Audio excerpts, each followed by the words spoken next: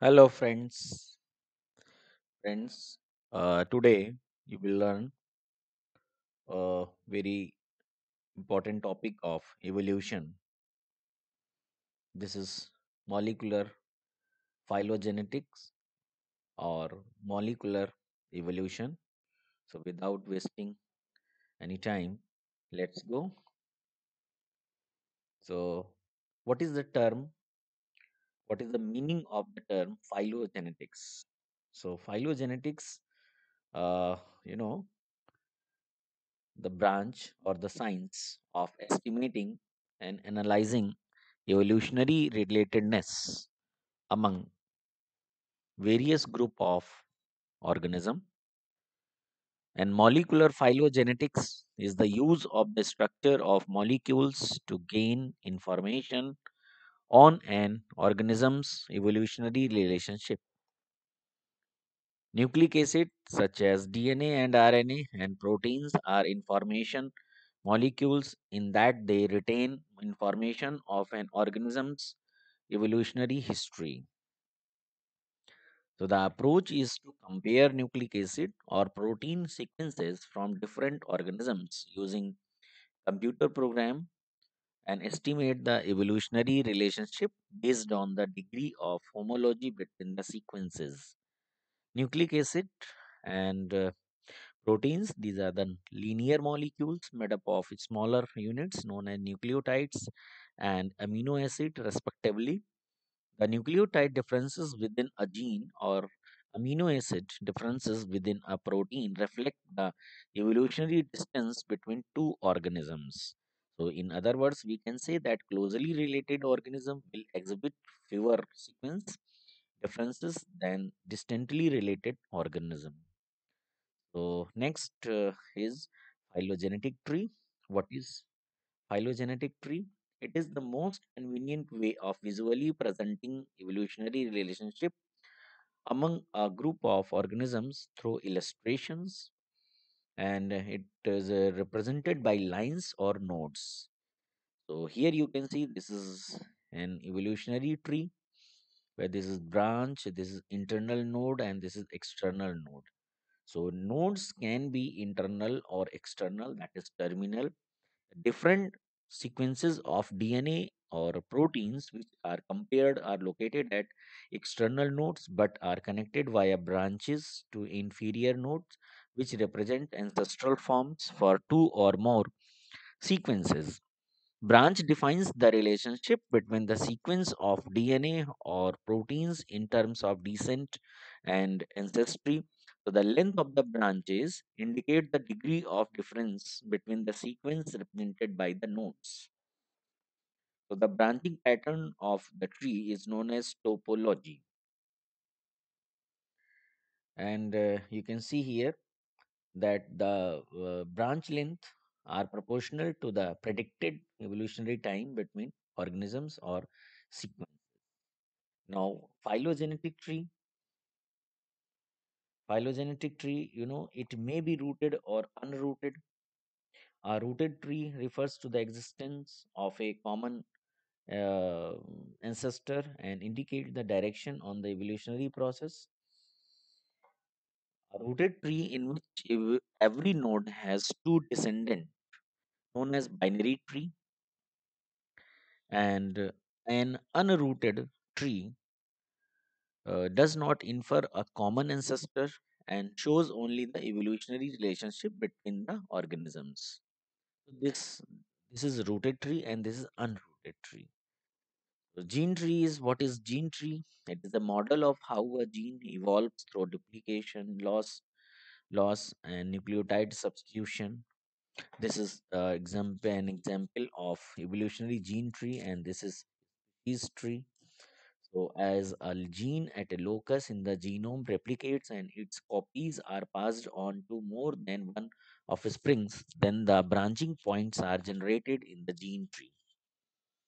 Now, species tree it shows the pattern of branching of species lineages via the process of speciation. For example, this one you can see in the second diagram that this is the speciation event and uh, this is species A and from species uh, A and that is the species B rises, then species C, this species D.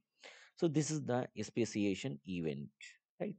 So speciation occurs by the population of the ancestral species splitting into two groups that are unable to interbreed.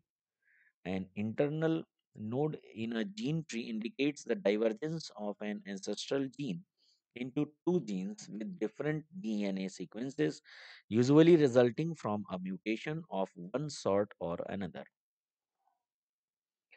An internal node in a species tree represents a speciation events whereby the population of the ancestral species splits into two groups are no longer able to interbreed. These two events, that is mutation and speciation, do not always occur at the same time. Phylogenetic studies construct the tree-like pattern, which describe the evolutionary relationship between the organisms being studied. For construction of a molecular phylogenetic tree, it is necessary to compare nucleic acid sequence or protein sequence. A sequence of DNA produces more phylogenetic information than the protein.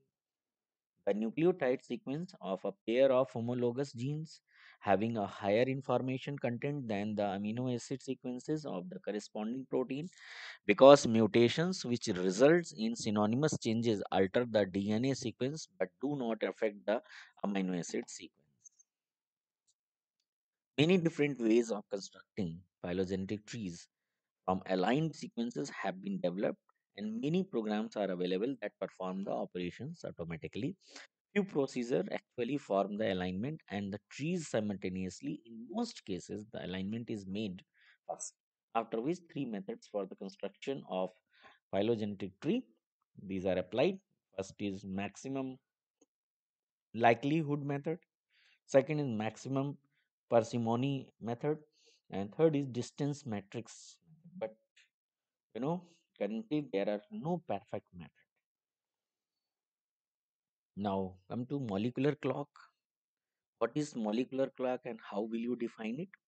This is a technique in molecular evolution to relate the time that the two species diverged to the number of molecular differences measured between the species DNA sequences or proteins. It is also known as gene clock or evolutionary clock. So its concept, that is concept of molecular clock, is based on the hypothesis that DNA and protein sequences evolve at a rate that is relatively constant over time and among different organisms. This constancy is used to estimate the length of time that many organisms have been diverging from one another by measuring the degree of differences between two sequences. Uh, Emile uh, Zucker Kendall and Linus Pauling proposed the uh, this molecular clock on hypothesis because these two scientists proposed this molecular clock hypothesis. And Motoo Kimura 1968 proposed the neutral theory of molecular evolution so, uh, neutral theory of molecular evolution is also known as neutral theory of evolution. It was given by Motoo Kimura in 1968, and uh, he suggested that a large fraction of new mutation do not have an effect on evolutionary fitness. So, natural selection would either favor nor uh, disfavor them. Each of these neutral mutations would either spread throughout a population and become fixed in all of its members or they would be lost entirely in a process, and this process is known as genetic drift. He showed that the rate at which neutral mutations become fixed in a population, this rate is known as substitution rate, and it is equivalent to the rate of appearance of new mutations in each member of the population, that is the mutation rate. The mutation rate is consistent across species. The substitution rate would remain constant throughout the tree of life. So the neutral theory is the basis of molecular clock technique. In this, scientists use to measure how much time has passed since species diverged from a common ancestor. There are two types of molecular clocks. Number one strict molecular clock, and second is relaxed molecular clock.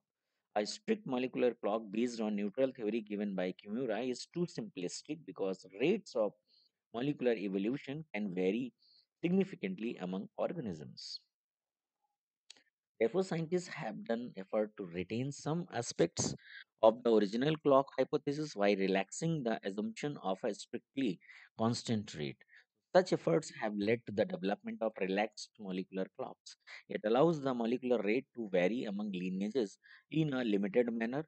If scientists have two DNA sequences that have content differences of 5%, so from only this information, we cannot show that whether this, these sequences have diverged from each other at a rate of 1% per 1 million years over a period of a 5 million years or whether they have diverged at a five-fold higher rate over a period of five, 1 million years. Therefore, to calibrate the molecular clock, one must know the absolute age of some evolutionary divergence event. For example, divergence between mammals and birds.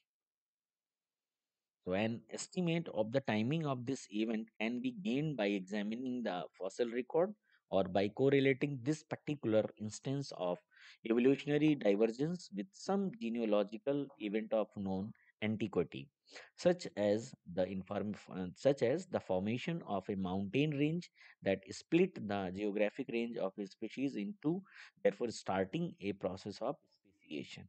Once the evolutionary rate is calculated using a calibration, this calibration can be applied to other organisms to estimate the timing of evolutionary events. For example, fossils state that the most recent common ancestor of human and uh, orangutan lived 13 million years ago. To calibrate the human molecular clock, we can compare human and orangutan DNA sequence to determine the amount of nucleotide substitution that is for example let's uh, take uh, you know x which has occurred and then divide this figure by 13 with 13 million years which is the 13 followed by 2 to get a rate of substitution per million years.